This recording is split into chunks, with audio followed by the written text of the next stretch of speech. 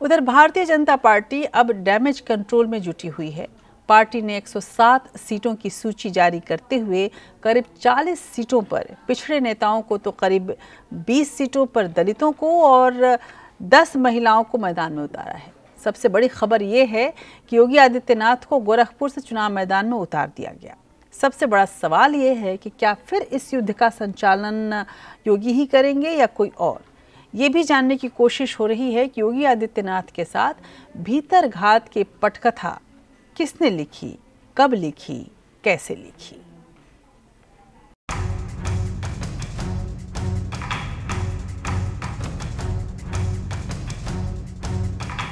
कभी कहते थे कि मथुरा से लड़ेंगे, कभी कहते थे अयोध्या से लड़ेंगे, कभी कहते थे प्रयागराज से लड़ेंगे कभी कहते थे देवन से लड़ेंगे। मुझे खुशी है इस बात की कि भारतीय जनता पार्टी ने पहले ही उन्हें अपने घर भेज दिया। हालाँकि वो कल से गोरखपुर में हैं। टिकट पहले बुक कराई थी उन्होंने 11 तारीख की।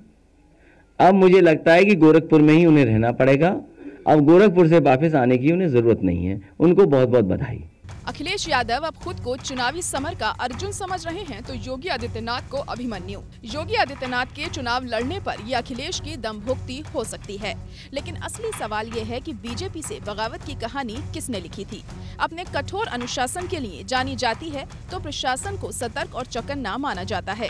ऐसे में सवाल ये उठता है कि डबल इंजन की सरकार के बावजूद योगी सरकार में इतनी बड़ी सेंध लगाई गई और किसी को पता तक नहीं चला, इस बात पर कोई यकीन नहीं कर सकता। तो क्या योगी आदित्यनाथ के साथ हुआ है भीतर घात? योगी अपनी नौकरशाही पर पकड़ रखने के लिए जाने जाते हैं।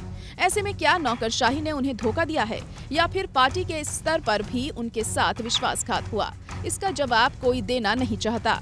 लेकिन ये जानने के लिए पिछले विधानसभा चुनाव के पहले जाना ज़रूरी है। अब केंद्रीय गृह मंत्री अमित शाह ने यूपी के उप मुख्यमंत्री केशव प्रसाद मौर्य से मिलकर अति पिछड़ा वर्ग की जातियों के नेताओं को साथ जोड़ा था। उस वक्त बीजेपी के पास 15 फ़ीसदी वोट शेयर थे।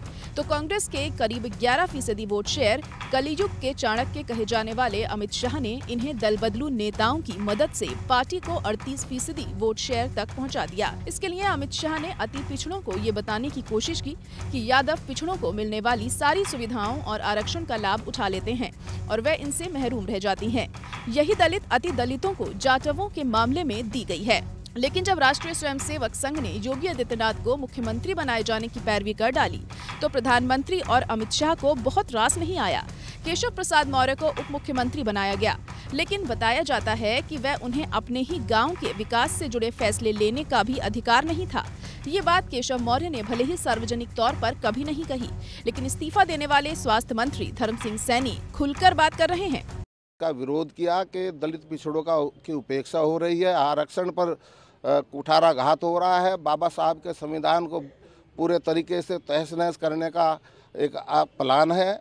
इससे रोकिएगा, नहीं तो ये पिछड़ा और दलित वर्ग के लोग पार्टी छोड़ने को मजबूर होंगे। हमने बार बार कहा, नहीं किसी ने सुनी, आज सही प्लेटफार्म है, सही समय है, सरकार बदलने का समय है, उत्तर प्रदेश से हम आगाज़ कर रहे हैं सरकार बदलने का 24 में हम केंद्र में बदलेंगे।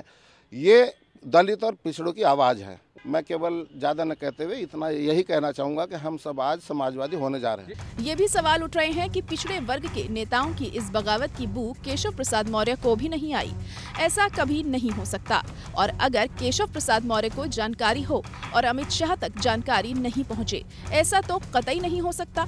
बल्कि समझा जा रहा है की केंद्रीय खुफिया एजेंसियों और पेगसिस जैसे खुफिया रिकॉर्डिंग के आरोपों के बीच केंद्रीय गृह मंत्रालय के पास इस बगावत की जानकारी न पहुँचने की बात गले नहीं उतर सकती।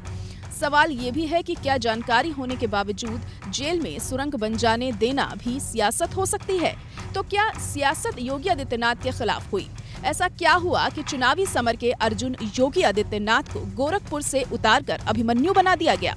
पार्लियामेंट्री बोर्ड की माननीय जगत प्रकाश नड्डा जी के नेतृत्व में माननीय प्रधानमंत्री जी की मार्गदर्शन में जो हमारी पार्लियामेंट्री बोर्ड बैठी, उसकी जो निर्णय हुआ है, उसमें से दो प्रमुख सीटों के बारे में आपके सामने सूचित कर रहा हूँ। योगी आदित्यनाथ जी, गोरखपुर शहर। आदरणीय योगी जी, हमारे मुख्यमंत्री की दायित्व में है, वो गोरखपुर शहर से चुनाव में पार्टी की ओर से प्रत्याशी होंगे। बीजेपी के देश भर में स्टार प्रचारक रहे योगी को पिछड़ों की बगावत की जानकारी नहीं पहुँचने देने के पीछे सियासत भी समझी जा रही है। और इसका चेहरा अखिलेश के सिर भले ही बंधा जा रहा हो, लेकिन ये तय है कि बीजेपी आलाकमान और डबल इंजन की सरकार इतनी गाफिल कभी नहीं हो सकती। और जिसकी मर्ज़ी के बगैर पत्ता तक नहीं हिलता, उसे यूपी में ज़मीन खिसकने तक का एहसास ना हो, ये संभव नहीं है। योगी से यूपी की कमान लेकर किसी और को देने की आला कमान ने जिस तरह से छह आठ महीने पहले कवायद की थी, उससे योगी के साथ भीतरघात की शुरुआत हो गई थी। पीएम मोदी की कार्यशैली का अनुसरण करने वाले योगी के काम के तरीके को ताना तानाशाहाना बताया जा रहा था। केशव प्रसाद मौर्य समेत संघ के प्रचारकों तक को योगी से नाराज़ कहा जा रहा था। इसी बहाने पीएम मोदी के करीबी नौकरशाह अरविंद शर्मा को प्रदेश में बतौर उप मुख्यमंत्री अप्रत्यक्ष रूप से सारी कमान हाथ में लेने की कोशिश की गई, लेकिन योगी को एक बार फिर अपना रौद्र रूप दिखाना पड़ा। संघ के सरकार्यवाहक दत्तात्रेय होसबोले लखनऊ भेजे गए, लेकिन योगी मिर्जापुर निकल गए। खबरों के मुताबिक होसबोले का कहना पड़ा कि क्या वो दिल्ली लौट जाएँ? इसके बाद संघ से पार्टी में भेजे गए संगठन सचिव बी एल संतोष और प्रदेश प्रभारी राधा मोहन सिंह को फीडबैक के लिए यूपी भेजा गया। इन सब के बीच योगी आदित्यनाथ ने अपने संपर्कों से संघ प्रमुख मोहन भागवत को स्पष्ट कर दिया कि अगर उन्हें स्वतंत्रता नहीं दी गई तो वह पद त्यागने के लिए तैयार हैं। एक बार फिर मोदी शाह की जोड़ी को बैकफुट पर आना पड़ा और बार बार योगी जी का गुणगान करना पड़ा। बुलडोजर तो गैर कानूनी इमारत पर चलता है, लेकिन दर्द दर्द उसको पालने पोसने वालों को होता है। तभी आज पूरे यूपी की जनता कह रही है यूपी प्लस योगी। बहुत है उपयोगी।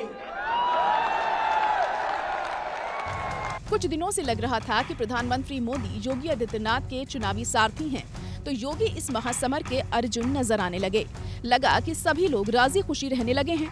साफ़ है कि जब समाजवादी पार्टी में जाने की साजिश को अंजाम तक पहुँचने का इंतज़ार किया गया, पार्टी के नेताओं ने जानते हुए भी योगी को अनभिज्ञ रखा गया और ठीक रहा एक बार फिर योगी आदित्यनाथ की कार्यशैली पर फूटा। यानी योगी आदित्यनाथ दो मोर्चों पर जूझ रहे हैं, वो भी एक साथ। पार्टी के भीतर की सियासत में जिसे अभिमन्यु बना दिया जा रहा है, उसे ही पार्टी की हार का जिम्मेदार बताया जाना है। कांग्रेसियों के साथ बीजेपी की आई कार्यशैली यही कहती है कि मीठा मीठा गप गप, कड़वा कड़वा थू थू। यानी जीते तो मोदी, हारे तो योगी। बीजेपी की पहली चुनावी लिस्ट आने पर बाकी भरम भी बहुत तेज़ी से टूट गया है। साफ़ हो गया है कि योगी है तो यकीन नहीं, मोदी है तो मुमकिन है। अंशुमान त्रिपाठी के साथ एपीएन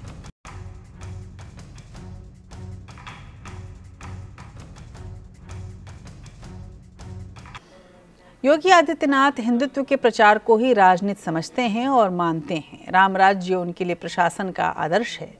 उन्हें राजनीति के पाखंड की बहुत समझ नहीं है और नहीं वो इसे सीखना चाहते हैं। लेकिन अगड़ों की पार्टी मानी जाने वाली भारतीय जनता पार्टी को उत्तर प्रदेश में बम्पर जीत पिछड़ों के वोटों की वजह से ही मिली है। ऐसे में पार्टी के भीतर और बाहर योगी के पैरों से ज़मीन खिसकाने के षड्यंत्र को अनुमानों के षड्यंत्र के अनुमानों को बहुत आश्चर्यजनक नहीं कहा जा सकता। और ये तो तय बात है, योगी आदित्यनाथ के समर्थक जितना पार्टी में हैं, उनसे ज़्यादा विरोधी हैं। और विरोधी कोई छोटे मोटे नहीं, बल्कि बहुत बड़े हैं।